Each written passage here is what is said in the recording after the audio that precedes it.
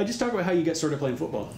All right, so I started in seventh grade. And it was kind of something I always wanted to do, and my fr- and really it was my friends who are conveniently at the school, you know, downstairs right now, Jerry and Patty, who kind of who kind of talked me into it, and it was their parents that kind of talked my parents into it, and th- and yeah, I, and so I started it in seventh grade and just kind of went from there. Just give uh, people an idea of what do you see on a play. Well, when I see on a play, I'm sure players have noticed this. I've always got my head turned this way because I see better out of the right side, out of the left side of my eye.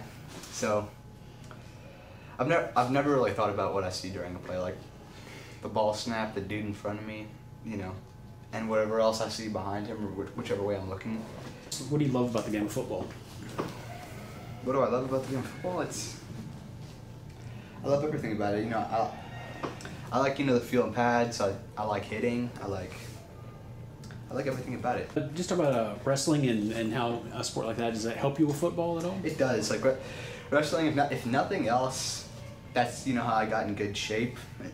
And wrestling and football, it also helps like with with you know, fo- I say form like you know being low, being being athletic more or less. Yeah. he's he's a very smart person.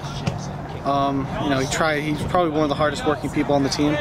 He wor- he works really hard. Um, I mean, you know, the vision does limit him sometimes, but most of the time he just you know kind of just does what he has to do. How much of a motivation is it to see a guy who, you know, a lot of kids wouldn't even try to, to come out with that condition? It's a, it's a huge motivator knowing that like because there's a lot of kids at the school that should be playing that aren't, mm-hmm. and knowing that there's a kid that's literally blind playing, that these kids have nothing wrong with them and are. It's it's a huge motivator.